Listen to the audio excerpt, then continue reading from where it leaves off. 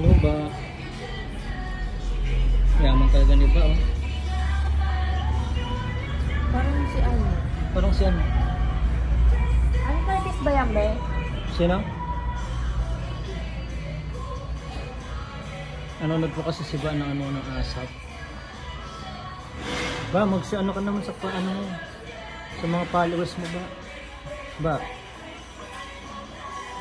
Ba? Jonalyn Pinatror.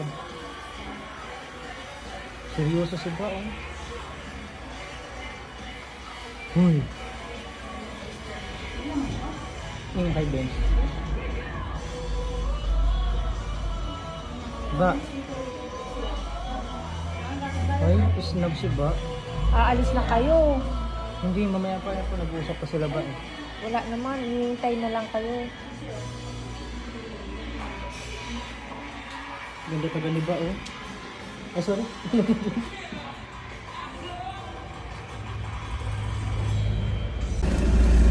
Ako mga kababayan, nandito kami sa sa lugar ni Johnny Lipin na po. Baka kasakali nandito siya. Ano ka ba kasakali kung man uh, makita namin siya dito sa lugar nila. Yan po. Dito ka sa tindahan? Buti ka sa Pino, Dira.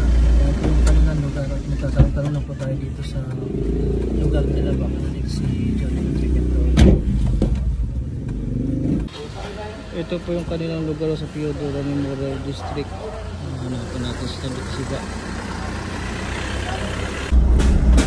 Ito patuloy pa rin tayo naghanap kay John.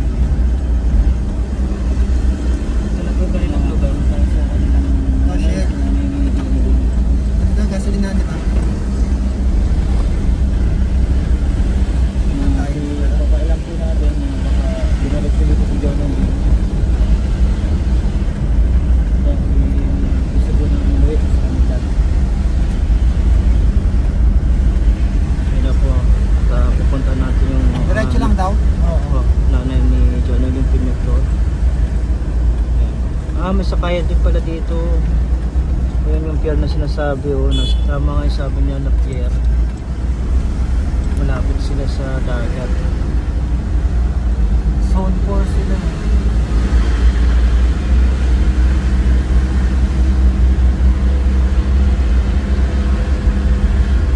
Ano na din dito? Ano? Baka nandito si Johnny Lynn. Wala dito nga. Sabi nga nung Tanong Nagkala mo yung tanong? Saan ba yung bahay ni Belen Peña Flor? Belen Peña Flor? Ito. panagtanong-tanong na po tayo no. Ano? Sabi niya raw, yan may ano yan. Dito may ano daw. Dito na pala. daw. Ito. Ito lang daw. May propal na yan. Ay, okay. Salamat po. Ayan po pala yung bahay ng ano ni Johnny Lynn Pina floor. Ayan po may kawayan na yan. Tatabain po natin siya no.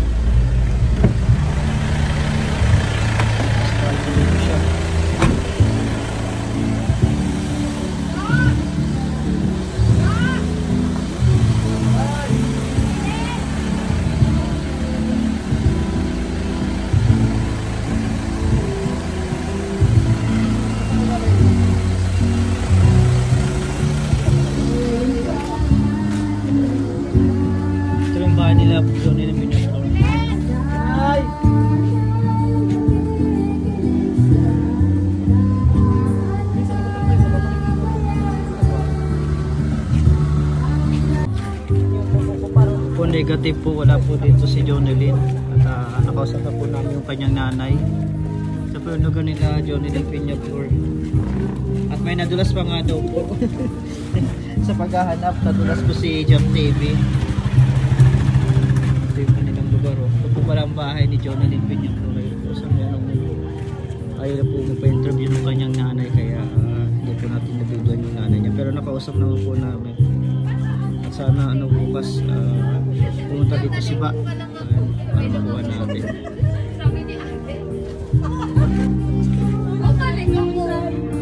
Ayan, nandito po tayo sa kapatid ni John ng Pinagdor pinuntahan po natin yung kapatid ano?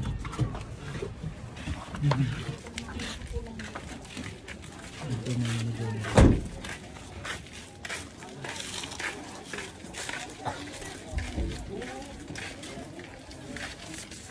At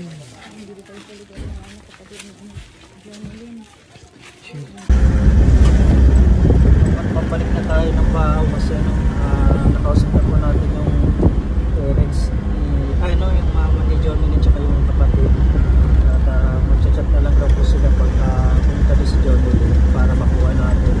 Sobra po yung ano, uh, siksag yung daan dito kaya Jomini at uh, nakakatakot yung daan parang bitukang manok.